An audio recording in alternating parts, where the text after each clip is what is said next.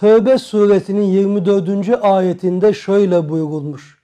Estaizu billah gul onlara de ki in kana abaukum eğer babalarınız olduysa ve ebnaukum ve evlatlarınız ve ihvanukum ve kardeşleriniz ve ezvacukum ve eşleriniz ve aşiretukum ve kabileniz ve envalunik taraftumuha ve kazandığınız mallar ve ticaretun tahşavne kesadaha ve kesada uğramasından korktuğunuz ticaret ve mesakinu terzavnaha ve hoşlandığınız evler ve meskenler.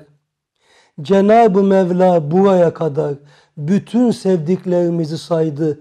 Babalarımız, evlatlarımız, kardeşlerimiz, eşlerimiz, kabilemiz, malımız, ticaretimiz ve evlerimiz.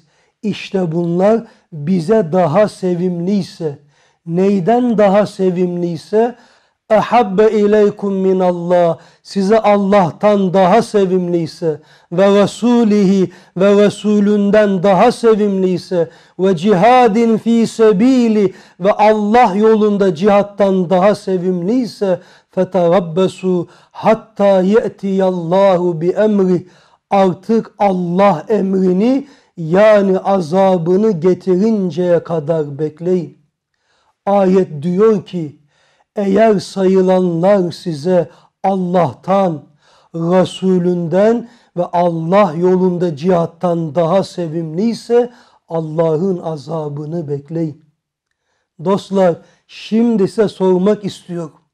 Aranızda Allah'ı evladından daha çok seven var mı? Resulünü evinden, ticaretinden daha çok seven var mı? Allah yolunda cihadı işinden, malından daha çok seven var mı? Lafta var, lakin hakikatte var mı? Herkes kendi cevabını kendisi versin. Allah'a emanet ol.